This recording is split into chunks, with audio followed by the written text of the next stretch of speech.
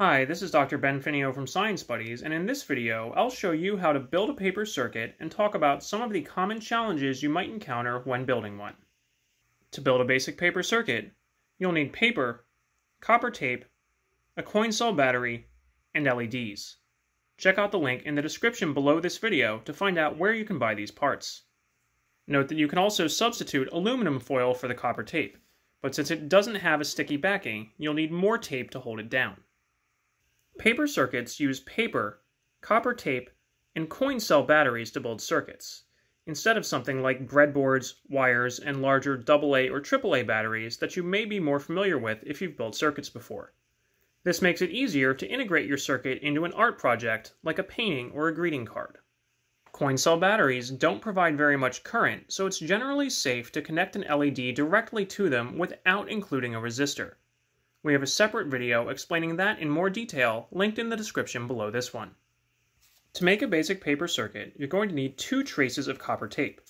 The copper tape comes with a paper backing that you can peel off and then stick it to the paper. Try making two parallel traces with about a 1 centimeter gap in between them. At the end of one of the traces, leave some extra tape that is not stuck to the paper. Now, take an LED and bend the legs outward 90 degrees so you can put it flat on the paper.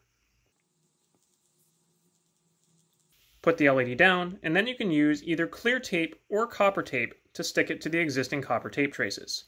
I'm going to use clear tape for now to make it easier to see the legs of the LED.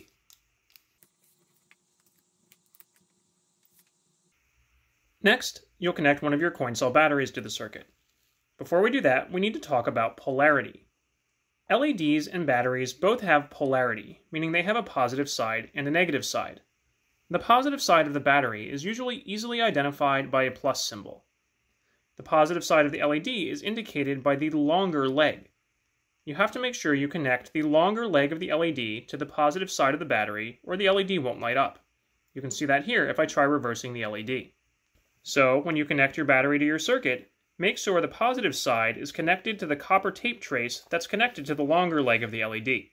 In this case, that's on my left. I'm going to put the battery down so the bottom connects the copper tape trace on the right, and I'm going to fold this trace over to touch the top.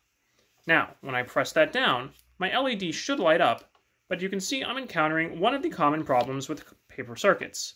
I probably don't have good enough contact between my LED and the copper tape. You can see that I need to press the LED down firmly to make it turn on. You can address that problem by bending and pressing the leads of the LED until they have firm, continuous contact with the copper tape on both sides. Now you can see the LED always turns on when I press down gently on the battery, and I don't need to press down on the leads of the LED. If you want your circuit to stay on, you can use something like a paper clip or a binder clip to apply some pressure to the battery to make sure it makes good contact with the copper tape.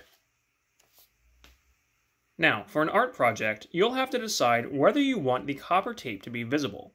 You could integrate it and make it part of your drawing or painting.